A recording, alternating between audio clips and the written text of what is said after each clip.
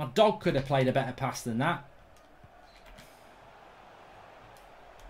A dead dog. Well, he's not dead, actually. Oh, well, I do have... And actually, some of my dogs are dead.